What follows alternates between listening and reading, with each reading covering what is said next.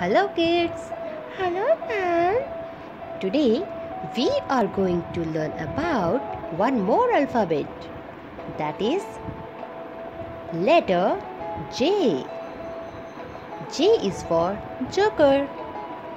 J is for jeep. J is for joystick. J is for jam. J is for jug.